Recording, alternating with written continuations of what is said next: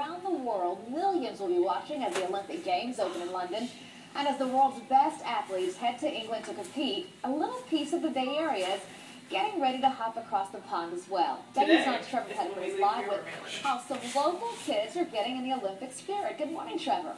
Good morning to you too, Erica. Well, you know, this is a great collaborative effort with the Morean Arts Center Summer Camp, Pollyzoom, and about 90 kids from our area. You see, they spent the last three weeks putting together this mural, and what they've created, the world should see. It's a work of art made by the hands of nearly 100 St. Petersburg children for the eyes of millions headed to London for the Summer Olympics.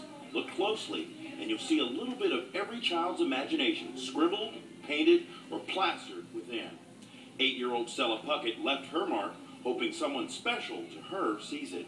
It was really fun because I was so excited for it to be able to go to the Olympics because I love the I just love watching the Olympics. I thought maybe Abby Wambach might see it because I love Abby Wambach. The U.S. Olympic star wouldn't be the only one to see it. Organizers say it'll be on display in the heart of London's art district. We thought it would be cool to do something with street art around the Olympics. I used to live in London, and so we started talking about it, and then uh, this just came about.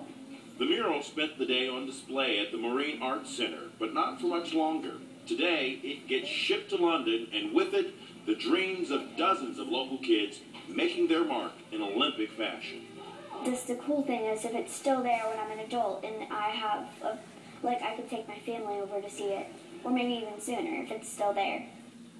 That would be really cool if it's still there. Now, again, the mural heads out today for London, and it's, it's scheduled, rather, to be on display by August 2nd. Erica? All right, Trevor, thank you. An exciting time for those kids and for the entire Bay Area.